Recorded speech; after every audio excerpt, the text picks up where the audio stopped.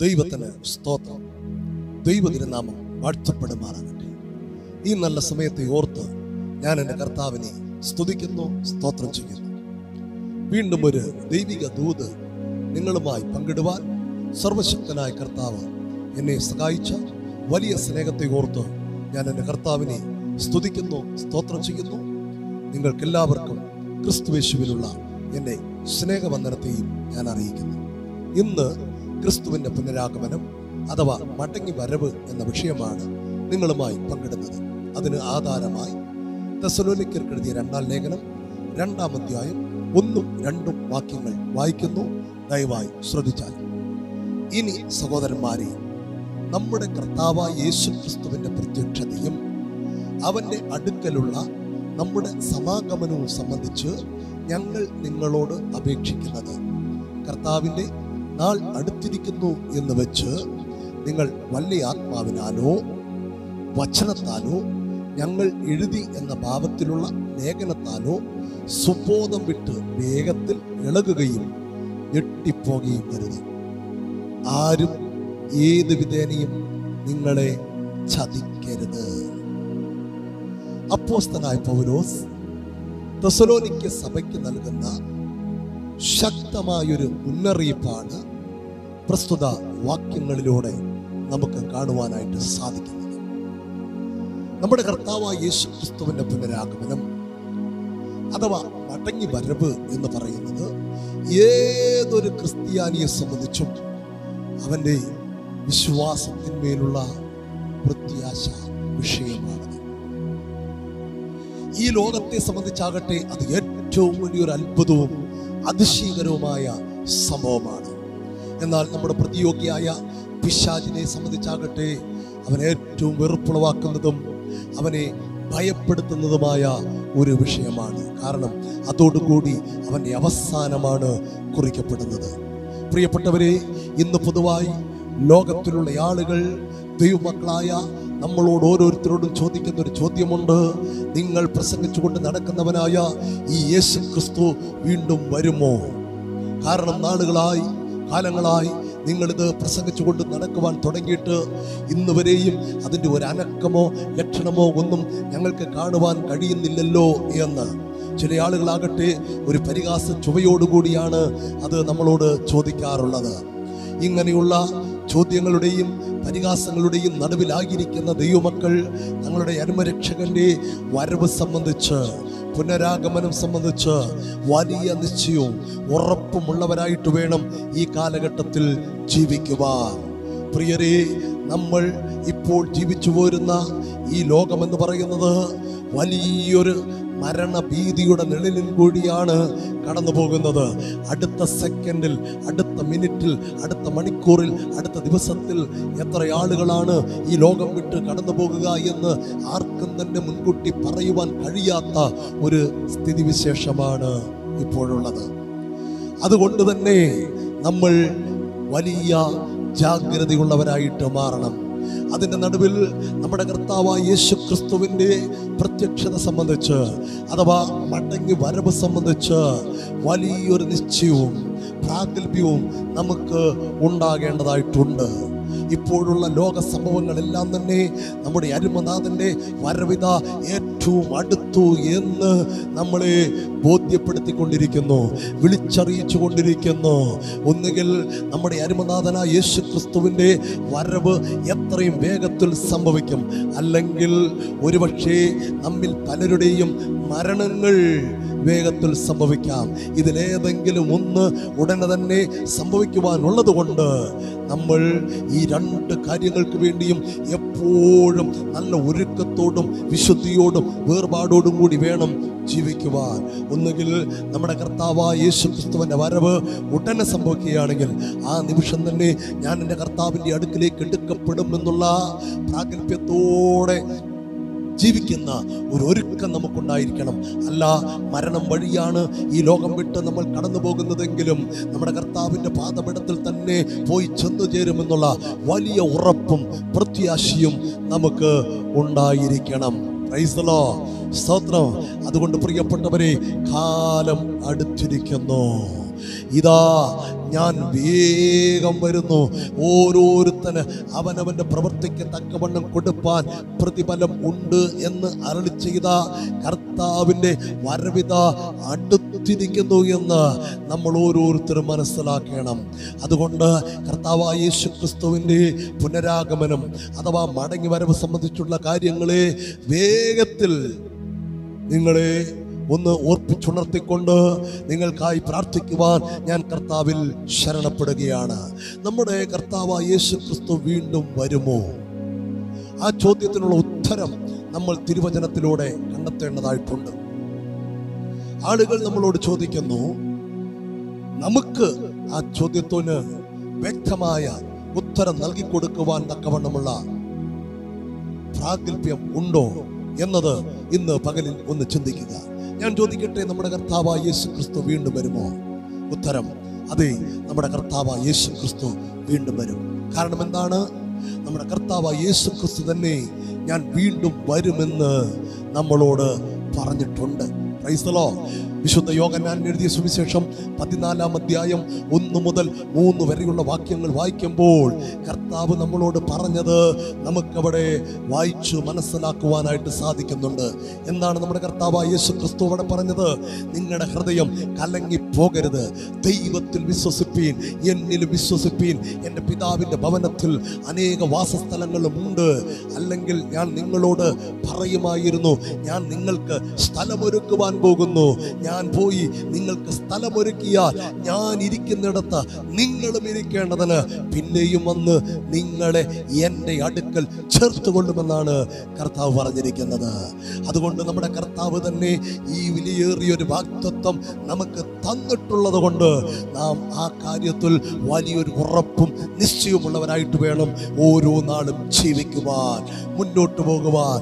മാത്രമല്ല ഇന്നത്തേക്ക് രണ്ടായിരത്തി ഇരുപത്തി ഒന്നിൽ പരം വർഷങ്ങൾക്ക് മുമ്പ് കർത്താവ് യേശു ക്രിസ്തു ഈ ലോകത്തിൽ വരുമെന്ന് പഴയ നിയമത്തിൽ പറഞ്ഞതായ തിരുവഴുത്തുകളെല്ലാം തന്നെ അവന്റെ ആ ജഡവതാരത്തോടുള്ള ബന്ധത്തിൽ നിറവേറി എന്ന് നമുക്ക് ഏവർക്കും അറിയാം. തിരുവചനം നമ്മളോട് അത് വളരെ വ്യക്തമായിട്ട് തന്നെ പറയുന്നു. മാത്രമല്ല ഈ ലോകത്തിനും അത് ഒരിക്കലും നിഷേധിക്കുവാനാകാത്ത ഒരു സംഭവം തന്നെയാണ്. ഒരു യാഥാർത്ഥ്യം തന്നെയാണ്. അങ്ങനെ അന്ന് അവന്റെ ആ ഒന്നാമത്തെ വരവിനോടുള്ള ബന്ധത്തിൽ വിശുദ്ധ സത്യവേദ പുസ്തകത്തിൽ പറയപ്പെട്ടിരിക്കുന്നതായ പല പ്രവചന വചനങ്ങളും അന്ന് നിറവേറപ്പെട്ടിട്ടുണ്ടെങ്കിൽ അതുപോലെ തന്നെ ആ പഴയ നിയമപുസ്തകങ്ങളിലും പുതിയ നിയമ പുസ്തകങ്ങളിലുമായി രേഖപ്പെടുത്തപ്പെട്ടിരിക്കുന്നതായ അവന്റെ രണ്ടാം വരവിനെ സംബന്ധിച്ചിട്ടുള്ള വചനങ്ങളും തീർച്ചയായിട്ടും നിറവേറുക തന്നെ ചെയ്യും. കർത്താവ് വരിക തന്നെ ചെയ്യും. ഉറപ്പുള്ളവർക്ക് എന്നോട് ചേർന്ന് ദൈവത്തെ സ്തുതിക്കാം മഹത്വപ്പെടുത്താം ഹാലൂയ വാക്ക് പറഞ്ഞാൽ മാറാത്തവനാണ് നമ്മുടെ കർത്താവ്. അതുകൊണ്ട് പ്രൈസ് അവൻ വ്യാജൻ പറയുവാൻ മനുഷ്യനല്ല അവൻ ദൈവമാണ്. അതുകൊണ്ട് അവന്റെ വാക്കിൻ പ്രകാരം അവൻ വരിക തന്നെ ചെയ്യും. അത് നമുക്ക് ഉറപ്പായി വിശ്വസിക്കാം പ്രത്യാശിക്കാം. ആ വലിയ നിശ്ചയത്തോടു കൂടെ ഓരോ നാളും കർത്താവിന് വേണ്ടി നമുക്ക് നിലകൊള്ളാം. പ്രൈസ് ദ ലോർഡ് സ്തോത്രം കർത്താവ് യേശു ക്രിസ്തു വീണ്ടും വരുമെന്ന് വിശ്വസിക്കുവാനുള്ള ആധാരങ്ങൾ എന്തൊക്കെയാണെന്നും കൂടെ നമ്മൾ അറിഞ്ഞിരിക്കണം. അല്ലെങ്കിൽ കാരണങ്ങൾ എന്തൊക്കെയാണെന്നും കൂടെ അറിഞ്ഞിരിക്കണം. ഞാൻ ഒരു ആറ് കാര്യങ്ങളെ വേഗത്തിൽ നിങ്ങൾക്കൊന്ന് ചൂണ്ടിക്കാണിച്ചുകൊണ്ട് ഈ സന്ദേശത്തിന് വിരാമമിടുവാനാണ് കർത്താവിൽ ശരണപ്പെടുന്നത്. എന്തൊക്കെയാണെന്ന് നോക്കാം. സ്തോത്രം. കർത്താവ് യേശു ക്രിസ്തു വീണ്ടും വരുമെന്ന് വിശ്വസിക്കുവാനുള്ള ആധാരങ്ങൾ അല്ലെങ്കിൽ കാരണങ്ങൾ എന്തൊക്കെയാണ്? ഒന്നാമത്തെ കാരണം ഇനിയും അവന്റെ രണ്ടാമത്തെ വരവുമായി ബന്ധപ്പെട്ട് നിറവേറപ്പെടാനുള്ള പ്രവചനങ്ങൾ ധാരാളം വിശുദ്ധ സത്യവേദ പുസ്തകത്തിൽ ഉണ്ട് എന്നുള്ളതാണ് ഒന്നാമത്തെ ആധാരം. കർത്താവായ യേശു ക്രിസ്തുവിന്റെ ഒന്നാം വരവും രണ്ടാം വരവും വിശുദ്ധ സത്യവേദ പുസ്തകത്തിലെ പഴയ നിയമത്തിലും പുതിയ നിയമത്തിലും ദൈവം തന്റെ ദാസന്മാരിലൂടെ അരളി ചെയ്യുകയും അതെല്ലാം രേഖപ്പെടുത്തി വെച്ചിരിക്കുകയും ചെയ്യുന്നുണ്ട് ചെയ്തിട്ടുണ്ട്. അങ്ങനെയുള്ള ആ സത്യങ്ങളെല്ലാം തീർച്ചയായിട്ട് ഇനിയും നിറവേറപ്പെടുമെന്ന് ഞങ്ങൾ ഉറപ്പായി വിശ്വസിക്കുന്നു.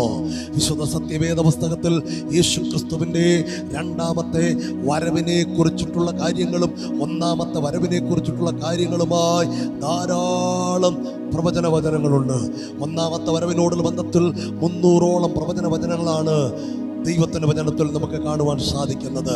അതുപോലെ തന്നെ അവന്റെ രണ്ടാമത്തെ വരവിനോടുള്ള ബന്ധത്തിൽ അറുന്നൂറ്റി ഇരുപത്തിയഞ്ചോളം പ്രവചനങ്ങൾ ഉള്ളതായിട്ട് നമുക്ക് കാണുവാൻ സാധിക്കുന്നുണ്ട്. അങ്ങനെയാണെങ്കിൽ അവന്റെ ഒന്നാമത്തെ വരവിനോടുള്ള ബന്ധത്തിൽ പറയപ്പെട്ടിരിക്കുന്ന ആ മുന്നൂറോളം പ്രവചനങ്ങളും നിറവേറപ്പെട്ടിട്ടുണ്ടെങ്കിൽ അവന്റെ രണ്ടാമത്തെ വരവിനോടുള്ള ബന്ധത്തിൽ പറയപ്പെട്ടിരിക്കുന്ന അറുന്നൂറ്റി ഇരുപത്തി അഞ്ചോളം പ്രവചനങ്ങളും തീർച്ചയായിട്ടും നിറവേറും.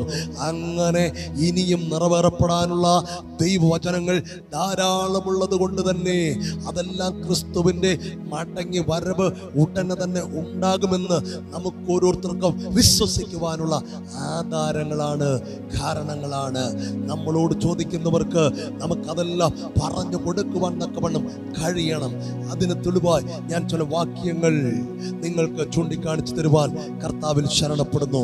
ഒന്ന് യോധ എഴുതിയ ലേഖനം പതിനാല് പതിനഞ്ച് വാക്യമാണ്. ആദാം മുതൽ ഏഴാമനായ ഹാനോക്കും ഇവരെ കുറിച്ച് ഇതാ കർത്താവ് എല്ലാവരെയും വിധിപ്പാനും അവർ അഭക്തിയോടെ ചെയ്ത ഭക്തി വിരുദ്ധമായ സകല പ്രവൃത്തികളും നിമിത്തം ഭക്തികെട്ട പാപികൾ തന്റെ നേരെ പറഞ്ഞ സകല നിഷ്ഠുരങ്ങളും നിമിത്തവും ഭക്തികെട്ടവരെ ഒക്കെയും ബോധം വരുത്തുവാനും ആയിരമായിരം വിശുദ്ധന്മാരോടുകൂടെ വന്നിരിക്കുന്നു എന്ന് പ്രവചിച്ചു. ഹാനാക്ക് പ്രവചിച്ച പ്രവചനത്തെയാണ് ഈ വാക്യത്തിലൂടെ നമുക്ക് യൂത വെളിപ്പെടുത്തി കാണിക്കുന്നത്. ആ പ്രവചനം കർത്താവായ യേശു ക്രിസ്തുവിന്റെ രണ്ടാം വരവിനോടുള്ള ബന്ധത്തിൽ നിറവേറപ്പെടേണ്ടതായ ഒരു പ്രവചനമാണ്.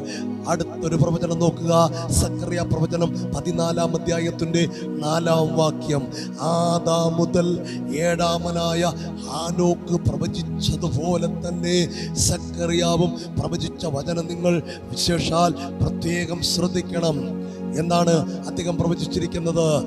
അന്നാളിൽ അവന്റെ കാൽ ഇരുശിലേമിനെതിരെ കിഴക്കുള്ള ഒലുവുമലയിൽ നിൽക്കും. ഒലുവുമല കിഴക്ക് പടിഞ്ഞാറായി നടുവെ പിളർന്നു പോകും. ഏറ്റവും വലിയൊരു താഴ്വര ഉളവായി വരും. മലയുടെ ഒരു പാതി വടക്കോട്ടും മറ്റേ പാതി തെക്കോട്ടും വാങ്ങിപ്പോകുമെന്നാണ് അദ്ദേഹം പ്രവചിച്ചിരിക്കുന്നത്. Lord.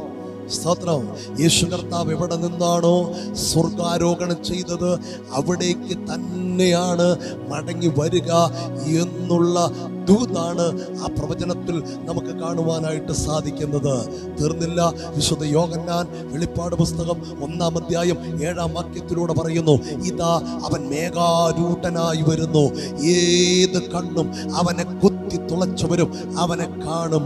ഭൂമിയിലെ ഗോത്രങ്ങളൊക്കെയും അവനെ ചൊല്ലി വിലപിക്കും. ഉവ് ആമേൻ എന്നാണ് അദ്ദേഹം പറയുന്നത്. അവൻ മേഘാരൂഢനായി വരും. ആ സമയത്ത് ഏത് കണ്ടും അവനെ കുത്തി തുളച്ചവരും അവനെ കാണും. ഭൂമിയിലെ ഗോത്രങ്ങളൊക്കെയും അവനെ ചൊല്ലി വിലപിക്കുമെന്നുള്ള കാര്യമാണ് യോഗനാന പോസ്തലൻ ആ വാക്യത്തിലൂടെ പറയുന്നത്. തീർന്നില്ല. വിശുദ്ധ മത്തായി എഴുതിയ സുവിശേഷം ഇരുപത്തിനാലാം അധ്യായത്തിന്റെ മുപ്പതാം വാക്യത്തിലൂടെ മത്തായി പറയുന്നു അപ്പോൾ മനുഷ്യപുത്രന്റെ ആകാ അടയാളം ആകാശത്ത് വിളങ്ങും. അന്ന് ഭൂമിയിലെ സകല ഗോത്രങ്ങളും പ്രലപിച്ചും കൊണ്ട് മനുഷ്യപുത്രൻ ആകാശത്തിൽ മേഘങ്ങളിന്മേൽ മഹാശക്തിയോടും തേജസ്സോടും കൂടെ വരുന്നത് കാണുമെന്നാണ് പറയുന്നത്. ഇങ്ങനെ ഇനിയും നിറവേറപ്പെടാനുള്ള ധാരാളം പ്രവചനങ്ങൾ വിശുദ്ധ സത്യവേദ പുസ്തകത്തിലുണ്ട് അതെല്ലാം ക്രിസ്തുവിന്റെ വരവോടുകൂടി നിറവേറപ്പെടുമെന്ന് ഞങ്ങൾ ഉറപ്പായി വിശ്വസിക്കുന്നു. എന്നെ കേൾക്കുന്ന ദൈവമക്കളെ നിങ്ങളും ആ കാര്യം വിശ്വസിക്കണം. കർത്താവിന്റെ വരവ് സംബന്ധിച്ച് നല്ലൊരു ഉറപ്പും നിശ്ചയമുള്ളവരായി ഓരോ നാളും ജീവിക്കണം. രണ്ടാമത്തെ ആധാരം കർത്താവ് യേശു ക്രിസ്തു തന്നെ പറഞ്ഞിരിക്കുന്നതായ വാക്കുകൾ ധാരാളമുണ്ട് സുവിശേഷ പുസ്തകങ്ങളിൽ എന്നുള്ളതാണ്.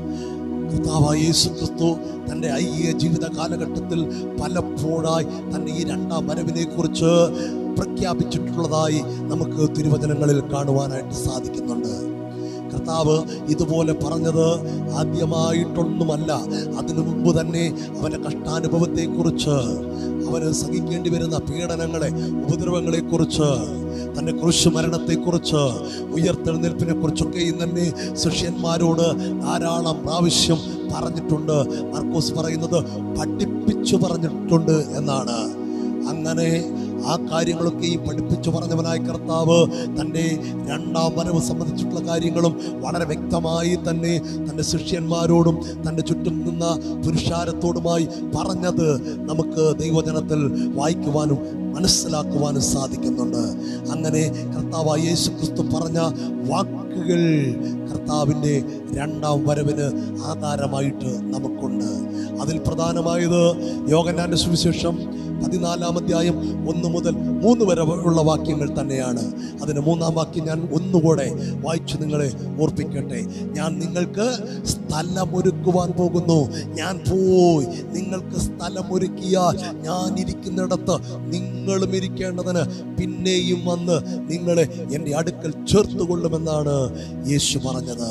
ഞാൻ പോകുന്നു സ്ഥലമൊരുക്കുവാൻ. സ്ഥലമൊരുക്കിയാൽ ഞാൻ ഇരിക്കുന്നിടത്ത് നിങ്ങളും ഇരിക്കേണ്ടതിന്. പിന്നെയും വന്ന് നിങ്ങളെ എന്റെ അടുക്കൽ ചേർത്തുകൊള്ളുമെന്നാണ് കർത്താവ് പറഞ്ഞത്. അതേ അധ്യായത്തിൽ തന്നെ യേശു കർത്താവ് പറഞ്ഞിട്ടുണ്ട് ഞാൻ നിങ്ങളെ അനാഥനായി വിടുകയില്ല. ഞാൻ നിങ്ങളുടെ അടുക്കലേക്ക് മടങ്ങി വരുമെന്ന്. ഒരിക്കലും തന്റെ കുഞ്ഞുങ്ങളെ അനാഥരായിട്ട് വിടുകയില്ല. അവരുടെ അടുക്കിലേക്ക് മടങ്ങി വരുമെന്നുള്ള ഉറപ്പ് കർത്താവ് തന്നിട്ടുണ്ട്. അതിന് ഇരുപത്തിയെട്ടാം വാക്യം പറയുന്നു ഞാൻ പോകുകയും നിങ്ങളുടെ അടുക്കൽ മടങ്ങി വരികയും ചെയ്യുമെന്ന്. വിശുദ്ധമത്തായി സുവിശേഷം പതിനാറാം അധ്യായത്തിന്റെ ഇരുപത്തിയേഴാം വാക്യത്തിലൂടെ യേശു പറഞ്ഞു മനുഷ്യപുത്രൻ തന്റെ പിതാവിന്റെ മഹത്വത്തിൽ തന്റെ ദൂതന്മാരുമായി വരുമെന്ന്. ഇങ്ങനെ യേശു ക്രിസ്തു പറഞ്ഞ ധാരാളം കാര്യങ്ങൾ വിശുദ്ധ സത്യവേദ പുസ്തകത്തിൽ നമുക്ക് ആധാരമായിട്ടുണ്ട്. അവൻ വരും പ്രിയപ്പെട്ടവരെ. അവന്റെ വരവിന് വേണ്ടി നമുക്കൊരുങ്ങാം. വിശുദ്ധിയോടെ ഭക്തിയോടെ ഭയത്തോടെ ഓരോ നാളും ജീവിക്കാം. മൂന്ന് ക്രിസ്തുവിന്റെ ആരോഹണ സമയത്ത് പ്രത്യക്ഷരായ രണ്ട് പുരുഷന്മാർ അഥവാ ദൈവദൂതന്മാർ പറഞ്ഞ വാക്കുകൾ നമുക്ക് ആധാരമായിട്ടുണ്ട്. കർത്താവായ യേശു ക്രിസ്തുവിന്റെ സ്വർഗാരോഹണ സമയത്ത് അവൻ സ്വർഗാരോഹണം ചെയ്ത ശേഷം രണ്ട് പുരുഷന്മാർ അവന്റെ ശിഷ്യന്മാരുടെ മുമ്പാകെ പ്രത്യക്ഷപ്പെട്ട് അവരോട് അവന്റെ മടങ്ങി വരവിനെ കുറിച്ച് പ്രഖ്യാപിച്ചതായിട്ട് പ്രവൃത്തികളുടെ പുസ്തകം ഒന്നാം അധ്യായം പത്ത് പതിനൊന്ന് വാക്യങ്ങളിൽ നമുക്ക് കാണുവാനായിട്ട് സാധിക്കുന്നു. എന്താണ് അവിടെ വായിക്കുന്നത് അവൻ പോകുന്ന നേരം അവർ ആകാശത്തിലേക്ക് ഉറ്റുനോക്കുമ്പോൾ വെള്ള വസ്ത്രം ധരിച്ച രണ്ട് പുരുഷന്മാർ അവരുടെ അടുക്കൽ നിന്നു. ഗലീല പുരുഷന്മാരെ നിങ്ങൾ ആകാശത്തിലേക്ക് നോക്കി നിൽക്കുന്നത് എന്ത് നിങ്ങളെ വിട്ട് സ്വർഗാരോഹണം ചെയ്ത ഈ യേശുവിനെ സ്വർഗത്തിലേക്ക് പോകുന്നവനായി നിങ്ങൾ കണ്ടതുപോലെ തന്നെ അവൻ വീണ്ടും വരുമെന്ന് അവർ പറഞ്ഞു. നോക്കണമേ യേശു സ്വർഗാരോഹണം ചെയ്യുന്ന സമയത്ത് അവരിതാ ആശ്ചര്യത്തോടുകൂടെ അതിശയത്തോടുകൂടെ ആ കാഴ്ച ഇങ്ങനെ കണ്ടുകൊണ്ട് നിൽക്കുകയാണ്. പെട്ടെന്ന് അവരുടെ ആ ശ്രദ്ധയെ മാറ്റിക്കൊണ്ട് ദൈവപുരുഷന്മാർ അവരോട് സംസാരിച്ച വചനമാണ് ഇത്. അവർ പറഞ്ഞ വാക്ക് നിങ്ങൾ പ്രത്യേകം ശ്രദ്ധിക്കുക. നിങ്ങളെ വിട്ട് സ്വർഗാരോഹണം ചെയ്ത ഈ യേശുവിനെ സ്വർഗത്തിലേക്ക് പോകുന്നവനായി നിങ്ങൾ കണ്ടതുപോലെ തന്നെ നിങ്ങൾ കണ്ടതുപോലെ തന്നെ അവൻ വീണ്ടും വരുമെന്നാണ് അവർ പറഞ്ഞത്. അങ്ങനെ ആ മാലാകമാരുടെ വാക്കുകളും നമുക്ക് ആധാരമായിട്ടുണ്ട് പ്രിയപ്പെട്ടവരെ. അതുകൊണ്ട് നമ്മുടെ കർത്താവായ യേശു ക്രിസ്തു തീർച്ചയായിട്ടും വരും. നമുക്ക് ഉറപ്പായി വിശ്വസിക്കാം പ്രത്യാശിക്കാം. നാലാമത് അപ്പോസ്തലന്മാരുടെ ഉപദേശങ്ങളും തിരുവചന രേഖകളും നമുക്ക് ആധാരമായിട്ടുണ്ട് എന്നുള്ളതാണ്. അന്ന് തന്നെ അവന്റെ അപ്പോസ്തലന്മാരുടെ പ്രസംഗങ്ങളിലും അവരെഴുതിയ എഴുത്തുകളിലുമെല്ലാം അവന്റെ മടങ്ങി വരവിനെ കുറിച്ചുള്ള കാര്യങ്ങൾ വളരെ ഏറെ അല്ലെങ്കിൽ സവിസ്തരമായി തന്നെ പറയുകയും രേഖപ്പെടുത്തുകയും ചെയ്തതായിട്ട് നമുക്ക് കാണുവാൻ സാധിക്കുന്നുണ്ട്. ആ കാലഘട്ടങ്ങളിൽ തന്നെ അവരും ഓരോരുത്തരും ഈ ലോകത്തോട് വിളിച്ചു പറഞ്ഞ സത്യം തന്നെ കർത്താവ് യേശു ക്രിസ്തു ഇതാ വീണ്ടും വരുവാൻ പോകുന്നു എന്ന സന്തോർത്തമാനം തന്നെയായിരുന്നു. അവരുടെ പ്രസംഗങ്ങളിലെ അതിശ്രേഷ്ഠ വിഷയം എന്ന് പറയുന്നത് കർത്താവ് യേശു ക്രിസ്തു അവന്റെ മടങ്ങി വരവും തന്നെയായിരുന്നു എന്നതിന് യാതൊരു സംശയവും വേണ്ട. അങ്ങനെ അപ്പോസ്തലന്മാരുടെ ഉപദേശങ്ങളും തിരുവചന രേഖകളൊക്കെയും നമുക്ക് ആധാരമായിട്ടുണ്ട് പ്രിയപ്പെട്ടവരെ. അതുകൊണ്ട് നമുക്ക് ഉറപ്പായി വിശ്വസിക്കാം. എന്താണ് അപ്പോസ്തലന്മാർ? ആ കാര്യങ്ങളെ കുറിച്ച് പറഞ്ഞത് എന്നതിന് ചില തിരുവചനങ്ങൾ ഞാൻ നിങ്ങളെ വായിച്ചു കേൾപ്പിക്കുവാൻ കർത്താവിൽ ശരണപ്പെടുന്നു. അതിലൊന്നാമത്തത് ഫിലിപ്പ് ലേഖനം മൂന്നാമധ്യായം ഇരുപത് ഇരുപത്തിയൊന്ന് വാക്യമാണ്. ആ വാക്യങ്ങളിലൂടെ അപ്പോസ്തല പൗരസ് പറയുന്നു നമ്മുടെ പൗരത്വമോ സ്വർഗത്തിലാകുന്നു അവിടെ നിന്ന് കർത്താവായ യേശു ക്രിസ്തു രക്ഷിതാവായി വരുമെന്ന് നാം കാത്തിരിക്കുന്നു. എവിടെ നിന്ന് വരുന്നു? സ്വർഗത്തിൽ നിന്ന് വരുന്നു. എങ്ങനെ വരുന്നു. രക്ഷിതാവായി വരുന്നു.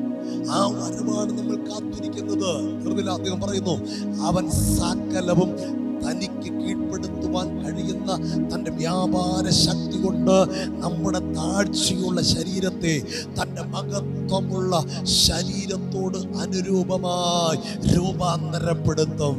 ഹലലൂയ വരിക മാത്രമല്ല ചെയ്യുന്നത് നമ്മുടെ താഴ്ചയുള്ള ഈ ശരീരത്തെ തന്റെ മകത്വമുള്ള ശരീരത്തോട് അനുരൂപമായി രൂപാന്തരപ്പെടുത്തിയാണ് അവൻ തന്റെ അടുക്കലേക്ക് നമ്മളെ ഓരോരുത്തരെയും ചേർത്ത് കൊള്ളുന്നത് ആ മകത്തകരമായ അനുഭവത്തിനായി ആ സന്ദർഭത്തിനായി നമ്മൾ ആവലോടുകൂടെ ആശയോടുകൂടെ പ്രത്യാശയോടുകൂടെയാണ് ഈ നാടുകളിൽ പാർക്കേണ്ടത്. ആ പ്രത്യാശയുള്ള ദൈവമക്കൾക്ക് ഞാൻ എന്റെ കർത്താവിനെ സ്തുതിക്കുന്നു വാഴ്ത്തുന്നു മകത്തപ്പെടുത്തുന്നു ഹാലല്ലൂയ വീണ്ടും പൗലോസ് തന്നെ കൊരിന്തിർക്കെഴുതിയ ഒന്നാം ലേഖനം പതിനഞ്ചാം അധ്യായം അൻപത്തി ഒന്ന് അൻപത്തിരണ്ട് വാക്യങ്ങളിലൂടെ ഇപ്രകാരം പറയുന്നു ഞാനൊരു മർമ്മം നിങ്ങളോട് പറയാം. നാം എല്ലാവരും നിദ്ര കൊള്ളുകയില്ല. എന്നാൽ അന്ത്യകാകളനാഥത്തെങ്കിൽ പെട്ടെന്ന് കണ്ണുമിക്കുന്നതിനിടയിൽ നാം എല്ലാവരും രൂപാന്തരപ്പെടും. കാകളം ധ്വനിക്കും. മരിച്ചവർ അക്ഷയരായുയർക്കുകയും നാം രൂപാന്തരപ്പെടുകയും ചെയ്യും. പ്രൈസ് ദ ലോർഡ് കാകളം ധ്വനിക്കും. മരിച്ചവർ ക്രിസ്തുവിൽ മുന്നമേ മരിച്ച് മണ്ണോട് മണ്ണായി അമർന്നുപോയ വിശുദ്ധന്മാരെല്ലാവരും തന്നെ അക്ഷയരായുയർക്കും അന്ന് ജീവനോട് ശേഷിക്കുന്നവരായ നാമോ രൂപാന്തരപ്പെടുകയും ചെയ്യുമെന്നാണ് അപ്പോസ്തലൻ പറയുന്നത്. അത് കുറച്ചുകൂടെ വിശദമായിട്ട് അദ്ദേഹം തെസലോനിക്കർക്ക് എഴുതി ഒന്നാം ലേഖനം നാലാം അധ്യായം പതിനാറ് പതിനേഴ് വാക്യങ്ങളിലൂടെ വിസ്തരിക്കുന്നുണ്ട്. അത് ഞാൻ നിങ്ങളെ വായിച്ചു കേൾപ്പിക്കുവാൻ കർത്താവിൽ ആഗ്രഹിക്കുന്നു.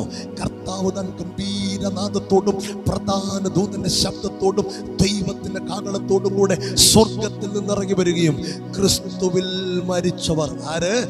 ക്രിസ്തുവിൽ മരിച്ചവർ മുമ്പേ ഉയർത്തെഴുന്നേൽക്കുന്നു. പിന്നെ ജീവനോടെ ശേഷിക്കുന്ന നാം അവരോട് ഒരുമിച്ച് ആകാശത്തിൽ അവനെ കർത്താവിനെ എതിരേൽപ്പാൻ മേഘങ്ങളിൽ എടുക്കപ്പെടും. ഇങ്ങനെ നാം എപ്പോഴും കർത്താവിനോട് കൂടെ ഇരിക്കുമെന്നാണ് അപ്പോസ്തലൻ പറയുന്നത്. സത്രം അദ്ദേഹം ഇതൊന്നും കരുതിക്കൂട്ടി പറയുകയല്ല ചെയ്തത്. ദൈവം അദ്ദേഹത്തിന് വെളിപ്പെടുത്തി കൊടുത്ത കാര്യങ്ങൾ. സ്വത്രം പരിശുദ്ധാത്മാവിലൂടെ അദ്ദേഹം രേഖപ്പെടുത്തി വെച്ച കാര്യങ്ങളാണ് ഇതൊക്കെ തന്നെ. അതുകൊണ്ട് ഈ വചനങ്ങളെല്ലാം നമുക്ക് ക്രിസ്തുവിന്റെ വരവ് ഉടനെ തന്നെ ഉണ്ടാകുമെന്ന് വിശ്വസിക്കുവാനുള്ള ആധാരങ്ങളാണ്. അദ്ദേഹം മാത്രമല്ല യോഗന്നാൻ അപ്പോസ്തലനും പറയുന്നു ഒന്ന് യോഗന്നാൻ രണ്ടിന്റെ ഇരുപത്തിയെട്ടാം വാക്യത്തിൽ ഇനിയും കുഞ്ഞുങ്ങളെ അവൻ പ്രത്യക്ഷനാകുമ്പോൾ നാം അവന്റെ സന്നിധിയിൽ ലജ്ജിച്ചു പോകാതെ അവന്റെ പ്രത്യക്ഷതയിൽ നമുക്ക് ധൈര്യമുണ്ടാകേണ്ടതിന് അവനിൽ വസിപ്പീൻ. അവനിൽ വസിപ്പീൻ എന്നാണ് അദ്ദേഹം പറയുന്നത്. അവിടെ മാത്രമല്ല അദ്ദേഹം പറഞ്ഞിരിക്കുന്നത്. അതിന്റെ മൂന്നാം അധ്യായം ഒന്ന് മുതൽ മൂന്ന് വരെയുള്ള വാക്യങ്ങൾ വായിക്കുമ്പോഴും നമുക്കത് ഒന്നുകൂടെ വളരെ വ്യക്തമായിട്ട് മനസ്സിലാക്കുവാൻ സാധിക്കുന്നു. എന്താണ് അദ്ദേഹം പറയുന്നത്? കാൺമീ നാം ദൈവമക്കളെന്ന് വിളിക്കപ്പെടുവാൻ പിതാവ് നമുക്ക് എത്ര വലിയ സ്നേഹം നൽകിയിരിക്കുന്നു. അങ്ങനെ തന്നെ നാം ആകുന്നു. ലോകം അവനെ അറിഞ്ഞിട്ടില്ലായകൊണ്ട് നമ്മയും അറിയുന്നില്ല. പ്രിയമുള്ളവരെ നാം ഇപ്പോൾ ദൈവമക്കളാകുന്നു. നാം ഇന്നതാകുമെന്ന് ഇതുവരെ പ്രത്യക്ഷമായില്ല അവൻ പ്രത്യക്ഷനാകുമ്പോൾ പ്രത്യേകം ശ്രദ്ധിക്കുക അവൻ പ്രത്യക്ഷനാകുമ്പോൾ നാം അവനെ താൻ ഇരിക്കും പോലെ തന്നെ കാണുന്നതാകൊണ്ട് അവനോട് സദൃശന്മാരാകും. പ്രത്യേകം ശ്രദ്ധിക്കുക. അവൻ പ്രത്യക്ഷനാകുമ്പോൾ യേശു പ്രത്യക്ഷനാകുമ്പോൾ യേശു മടങ്ങി വരുമ്പോൾ നാം അവനെ താൻ ഇരിക്കും പോലെ തന്നെ കാണുന്നതാകൊണ്ട് അവനോട് സദൃശന്മാരാകും. എന്നാണ് അദ്ദേഹം പറയുന്നത്. എന്നിട്ട് താഴെ പറയുന്നു അവനിൽ ഈ പ്രത്യാശയുള്ളവനെല്ലാം അവൻ നിർമ്മലനായിരിക്കുന്നത് പോലെ തന്നെ തന്നെ നിർമ്മലീകരിക്കുന്നു എന്ന്. പ്രൈസ് ദ ലോർഡ് അപ്പോൾ സ്നേഹത്തിന്റെ അപ്പോസ്തലനായിരിക്കുന്ന യോഗന്നാനും ഇത് വളരെ വ്യക്തമായിട്ട് തന്നെ നമ്മെ ഓർപ്പിച്ച് ഉണർത്തുന്നു. കർത്താവിന്റെ വരവ് നടക്കും പ്രിയപ്പെട്ടവരെ. പ്രൈസ് ദ ലോർഡ് തീർന്നില്ല. അപ്പോസ്തലന്മാരിൽ പ്രധാനി എന്ന് വിശേഷിപ്പിക്കപ്പെടുന്ന പത്രൂസും അതിനെക്കുറിച്ച് വളരെ വ്യക്തമായിട്ട് തന്നെ തന്റെ ലേഖനങ്ങളിൽ പറഞ്ഞിട്ടുണ്ട്. അതിൽ ഒരു വാക്യം ഞാൻ നിങ്ങളെ വായിച്ചു കേൾപ്പിക്കുവാൻ കർത്താവിൽ ശരണപ്പെടുന്നു.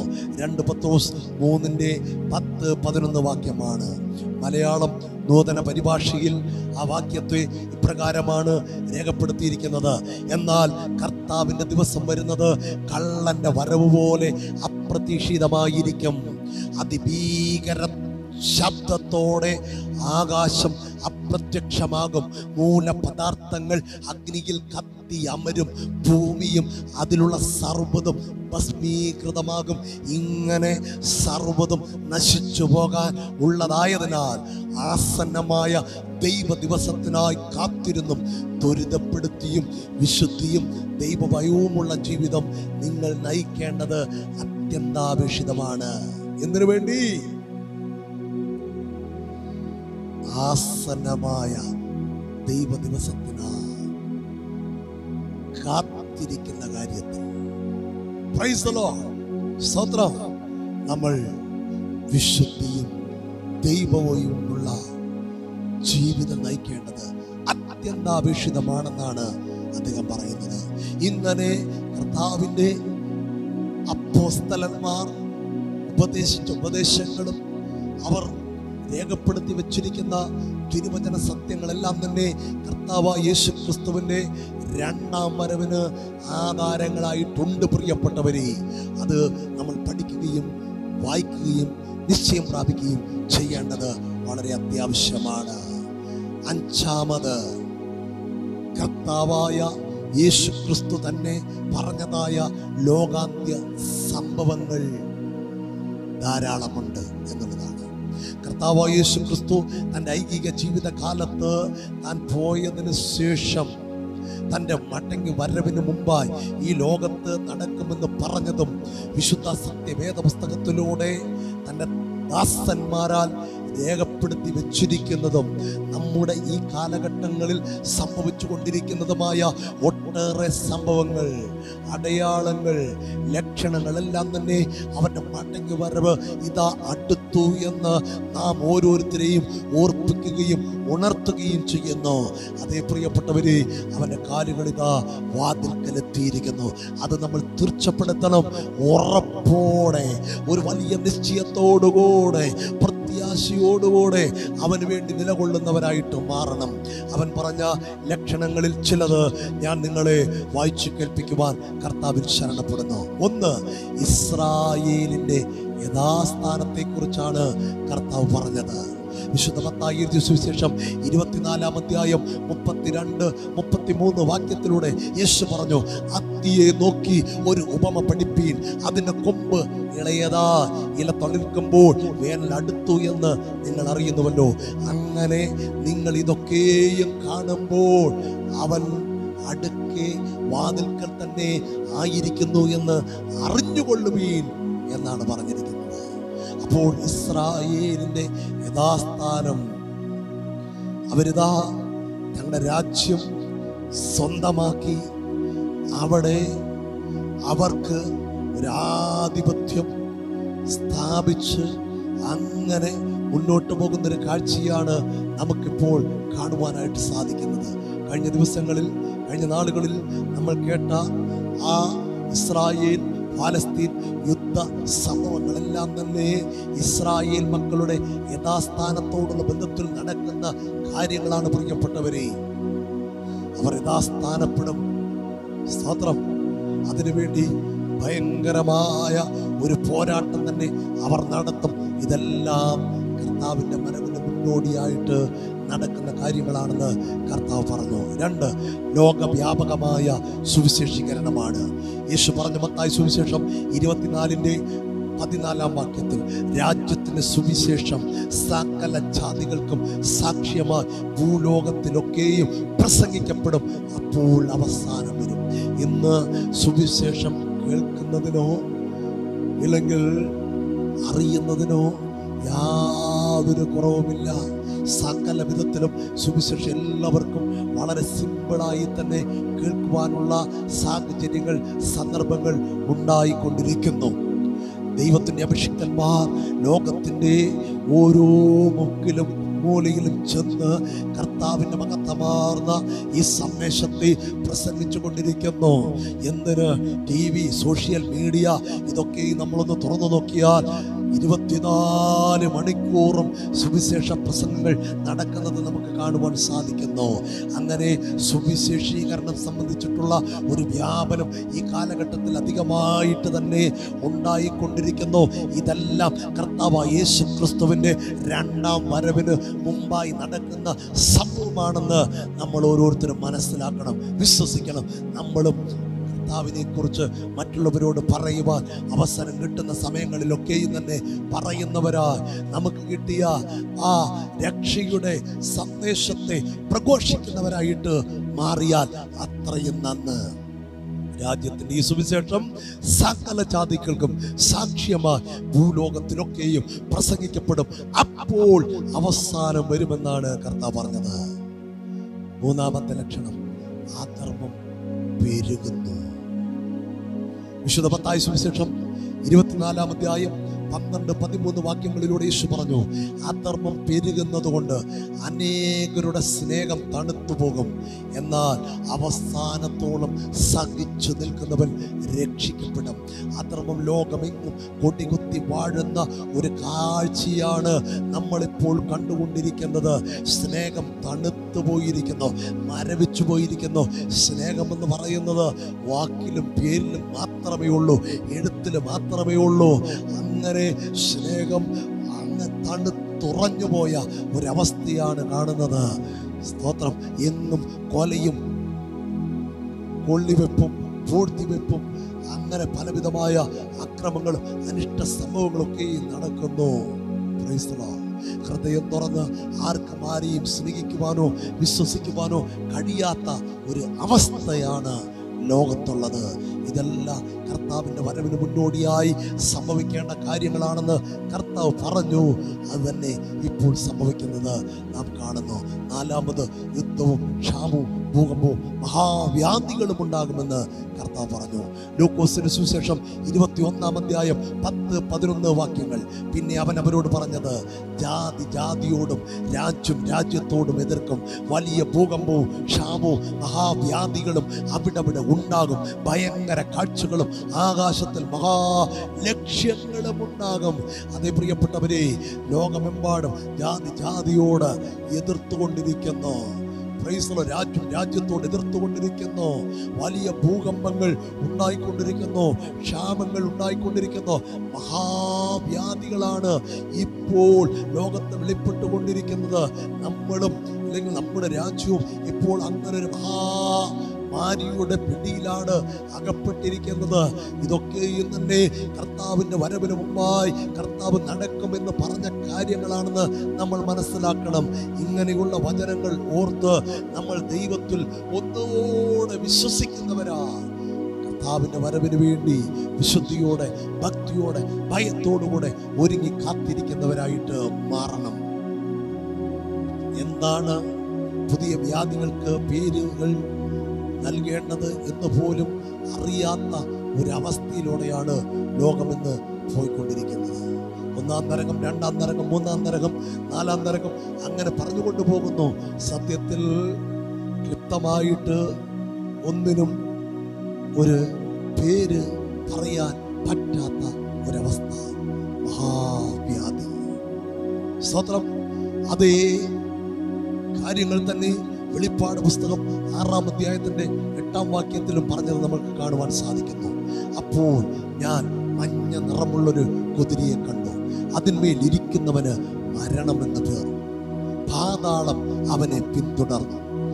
അവർക്ക് വാളുകൊണ്ടും ക്ഷാമം കൊണ്ടും മഹാവ്യാധി കൊണ്ടും ഭൂമിയിലെ കാട്ടുമൃഗങ്ങളെ കൊണ്ടും കൊന്നു കളവാൻ ഭൂമിയുടെ കാലാംശത്തിന്മേൽ അധികാരം ലഭിച്ചു. എന്നൊക്കെ കൊണ്ട്? വാളുകൊണ്ട്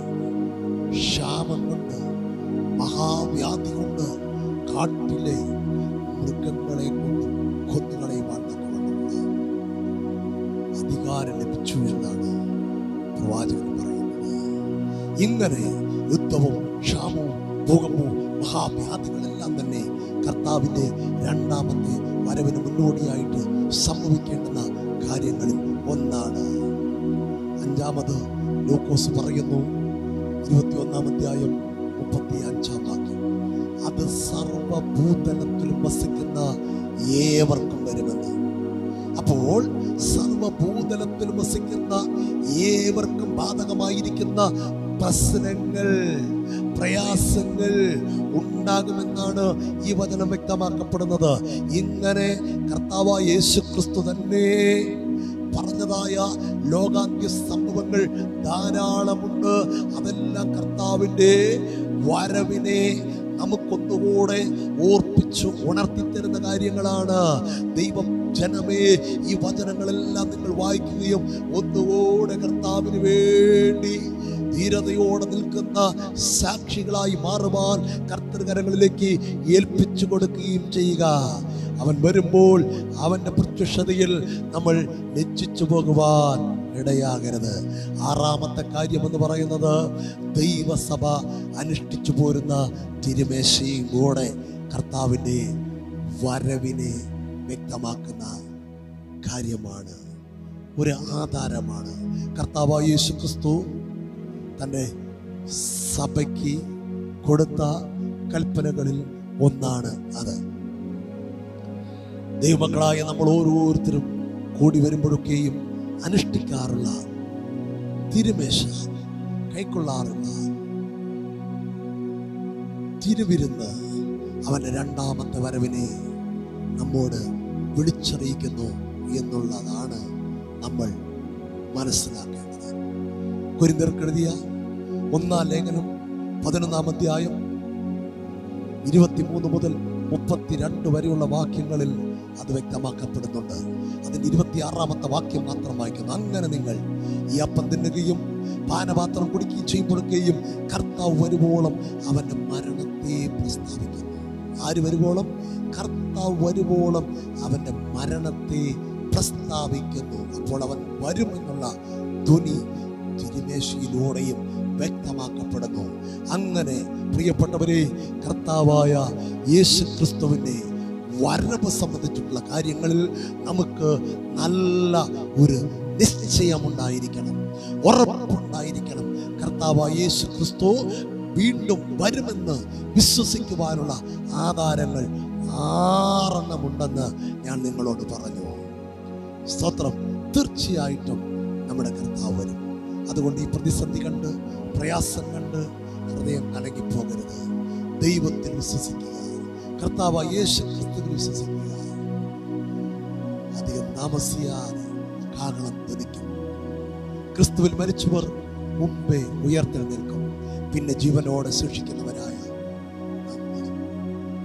അവൻ എതിരേൽപ്പാ വേഗങ്ങളിൽ എടുക്കപ്പെടും ഇന്നലെ നമ്മൾ നമ്മുടെ കർത്താവിനോട് കൂടി ആയിരിക്കും ഈ വചനങ്ങളെ കൊണ്ട് അന്യോന്യം ആശ്വസിച്ചുകൊള്ളുക ദൈവം അനുഗ്രഹിക്കട്ടെ പരിശുദ്ധ പിതാവേ ഈ സന്ദേശം കേട്ട ഓരോ പ്രിയപ്പെട്ടവർക്ക് വേണ്ടി പ്രാർത്ഥിക്കുന്നു. കർത്താവിന്റെ വരവ് സംബന്ധിച്ച് ഒരുങ്ങുവാൻ വിശുദ്ധിയോടെ വേർപാടോടുകൂടെ ജീവിക്കുന്നവരായി തീരുവാൻ ഓരോരുത്തരെയും സഹായിക്കണമേ. കർത്താവേ ഈ സന്ദേശം പങ്കുവെക്കുവാൻ അടിയനെയും സഹായിച്ചു കൃപയ്ക്കായി അടിയനെയും അവിടുത്തെ വരവിന് വേണ്ടി ഒരുങ്ങുവാൻ കൃപ നൽകി ആശീർവദിക്കണമെന്ന് പ്രാർത്ഥിക്കുന്നു. മകത്തെ മുഴുവൻ പ്രാർത്ഥന കേട്ടതിനായി സ്തോത്രം. യേശുവിൻ തന്നെയുള്ള നാമത്തിൽ തന്നെ. ആമേൻ.